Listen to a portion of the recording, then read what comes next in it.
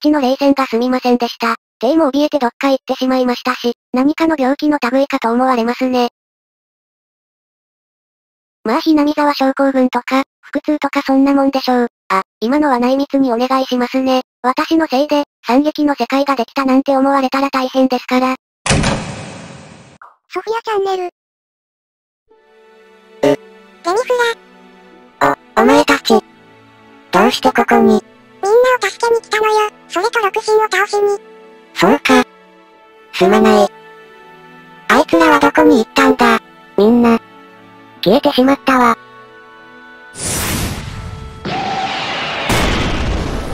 X です。おい、大丈夫か？すまない。私はもう、ここまでのようだ。何言ってやがる？ここで死んじまったらもう？すまない。私はここで退場だ。待て、ふざけんなよ、おい。冗談じゃねえぞ。ふっふっふっふ。さすがのあいつも、限界だったようだな。私の技を何発も食らって消滅しないとは、大したもんだよ。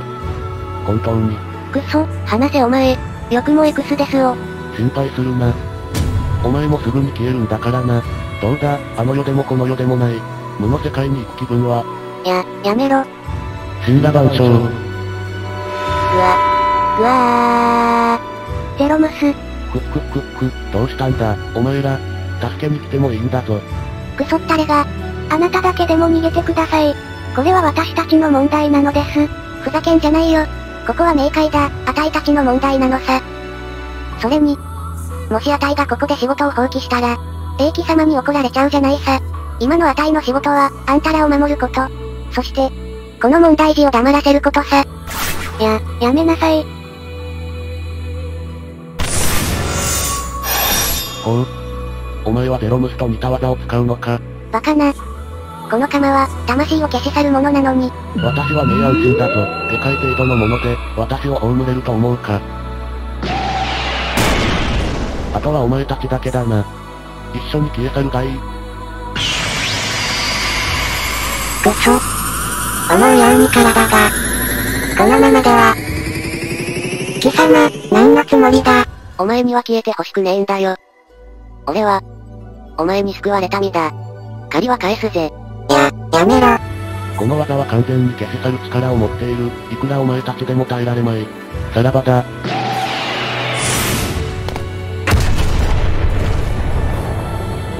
私としたことが、なんと情けない。ゼニフラ、まだあいつは暴れているわ。冥界の扉が開かれる前に。ああ。わかってる。お前たちは、私と一つになるつもりだな。そうよ。せっかく肉体が離れ、自由になったんだぞ。私は、お前たちに幸せになって。私は家族が一番大事なのよ。死後の世界でも、あの子たちが苦しむことになるなんて冗談じゃない。たとえ魂だけになったとしても、私は家族を絶対に守るわ。あの子たちの笑顔を守れるなら、私は何だってする。そうだな。ならば、今から言うことをよく聞くんだ。それと、どうかしたらすぐに、オメガと話させてくれ。皆さん。はい。すみませんが、アルテマさんと二人きりで話をさせていただけませんか？はい。わかりました。どうしましたか？大切なお話があります。えっと、どのような？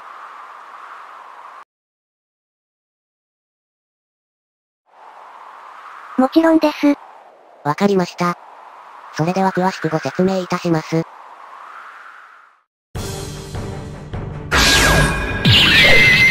懲りない奴だな。くそ。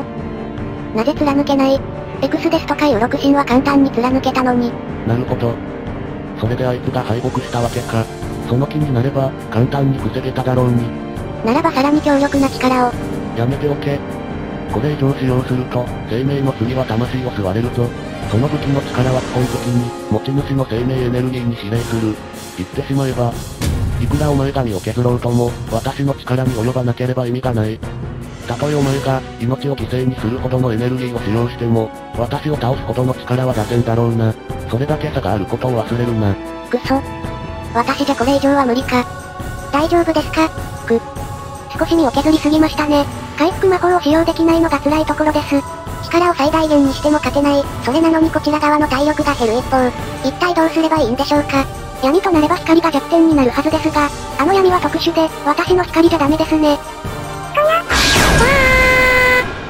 おい、お前。ほう。こいつは驚いた。姿を見せないと思ったら、これほどのエネルギーを貯めていたとは、今度こそ闇で決着つけてやる。お前が臆病者でなかったら受けてみろ。くっくっくっく、いいだろう。ダークネス、デスティネーション。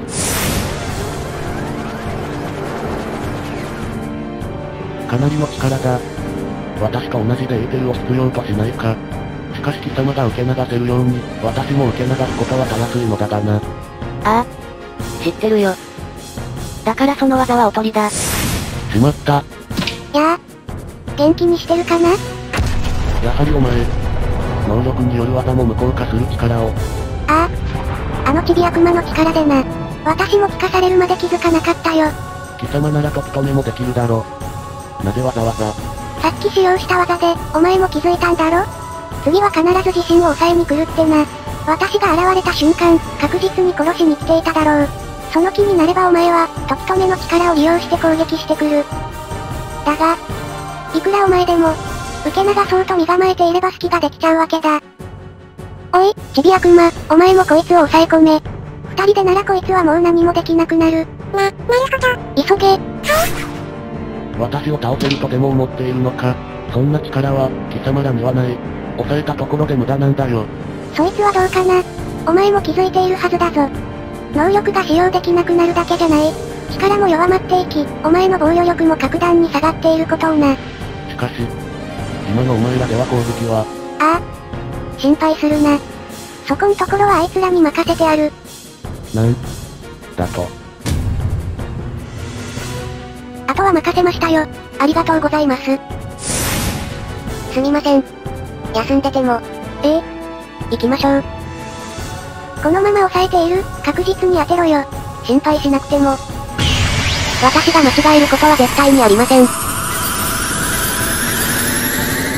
や、やめろ。ああ。終わりだ。裁かれるがいい。ま、まずい。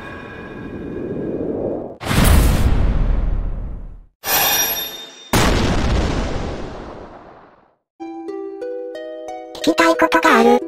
わかっている。なぜ星を破壊し、生命を集めるのか。そうだ。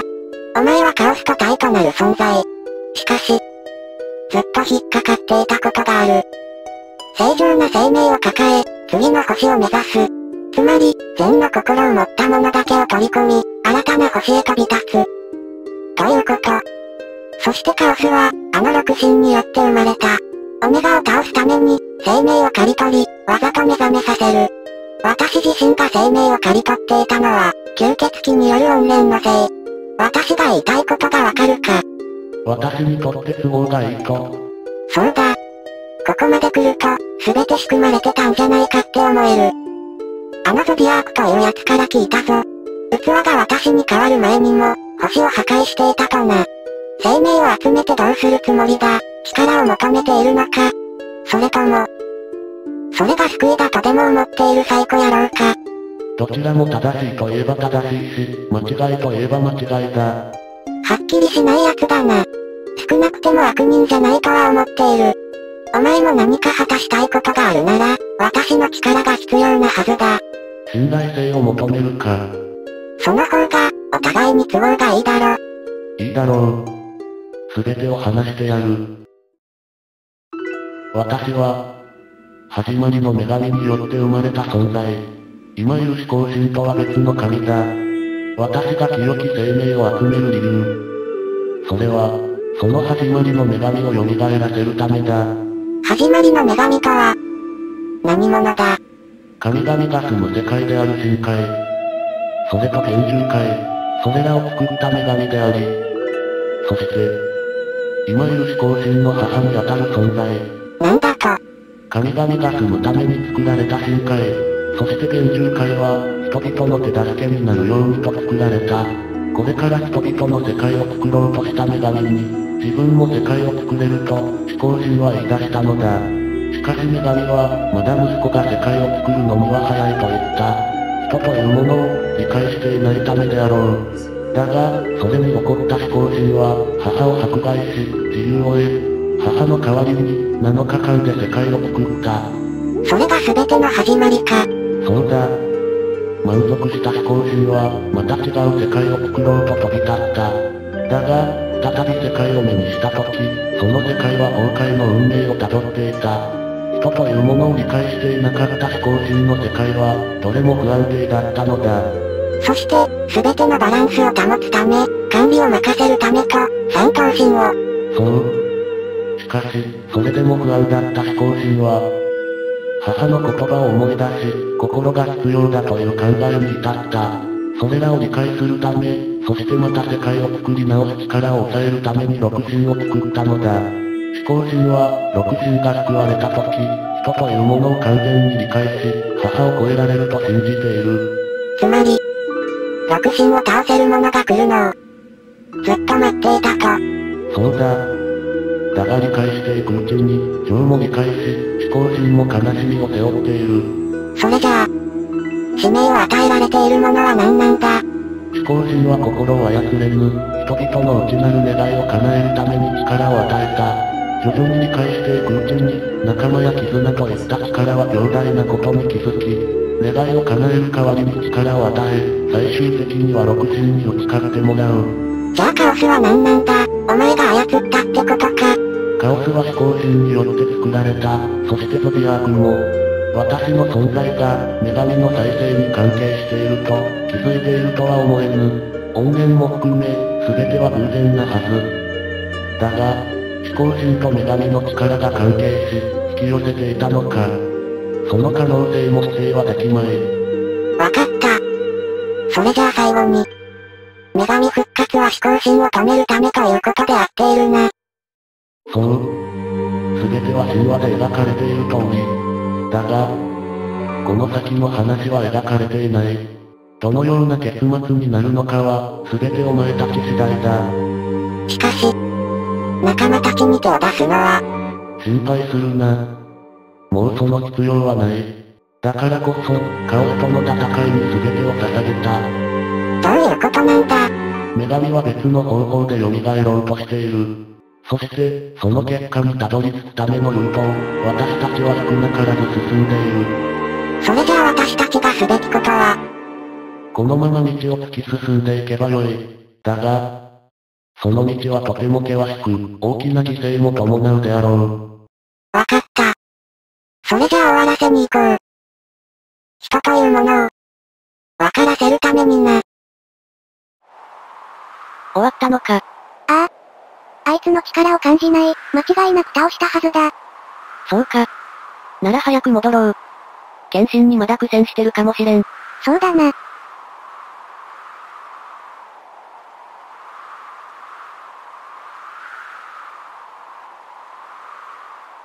おい、なぜついてこない？に、逃げろ。